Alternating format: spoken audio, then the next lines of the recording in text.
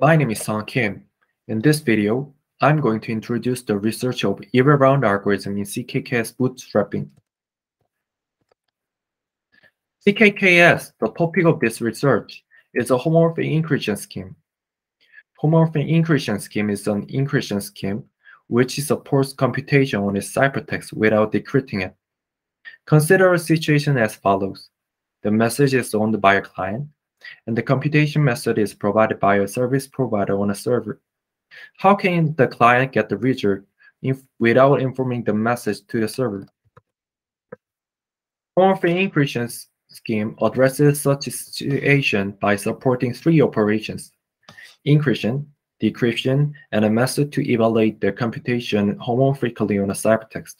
Given those, the client may get the desired result by encrypting their message, sending the ciphertext to the server, and decrypting the result ciphertext. CKKS is a representative homomorphic encryption scheme which is widely known for its ability to encrypt real numbers and to perform approximate arithmetics. One challenge of the early CKKS was that the depth of evaluation circuit is limited. In detail, a CKKS ciphertext belongs to a certain space called modulus, and the size of this space diminishes for each multiplication. After applying a fixed number of multiplication, the ciphertext would be run out of the size of modulus, so it could not be evaluated any further. CKKS bootstrapping is a technique which is invented to solve this problem. Bootstrapping is an operation which recovers the ciphertext modulus whenever the modulus is depleted, we can bootstrapping the subtext and continue evaluating the circuit on the bootstrapped one. This enables CKKS to allow evaluation of unlimited depths.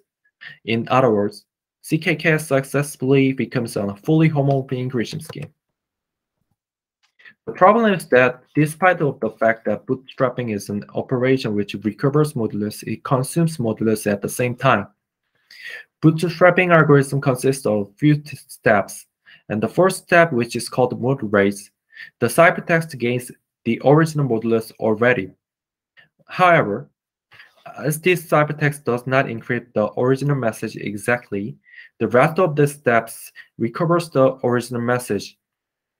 As those steps are big combinations of additions and multiplications, the modulus is consumed again. Therefore, such modulus consumption directly determines the available depth of evaluation after bootstrapping. In this research, we are focusing on reducing it to maximize the efficiency of the bootstrapping algorithm. To reduce modulus consumption, we suggest a new bootstrapping algorithm called EvalRound. EvalRound algorithm can be constructed by giving two simple modifications on the conventional bootstrapping algorithm. The conventional algorithm contains four steps called mod raise, CoeffToSlot, Iber mode, and SlotToCoeff. To construct the EvalRound algorithm, we first modify CoeffToSlot to its variant by just adjusting a parameter. To be more specific, we use lower scale factor. This change makes the step to consume much less modulus yet calculate the result imprecisely with a non-negligible error. Second modification follows to deal with such error. We alternate EvalMod step to EvalRound by simply performing two extra subtractions. EvalRound step is simply to the original EvalMod step, but it has its own merit on being stable to the error. The main motivation of the algorithm is as follows. EvalRound can be explained as the homomorphic computation of modular rounding, while EvalMod is the homomorphic computation of modular reduction. The function of modular reduction and modular rounding can be drawn as on the figure. As the relationship of those two functions is trivial, one can easily replace one another. However, we can observe that the modular rounding is stable to the input error, unlike modular reduction. So our algorithm takes the advantages here, so we can successfully reduce the modulus consumption. By applying our algorithm described so far, we could obtain the result as shown. We have implemented our own CKKS code and tested the algorithm on a practical parameter. We could reduce the modulus consumption by 84 bits, which is a sufficient amount to gain one or two evaluation depths after bootstrapping. This is more effective on the parameter, which has heavy bootstrap circuits and thereby provides relatively low extra evaluation depths after bootstrapping. Another important point of this algorithm is its portability.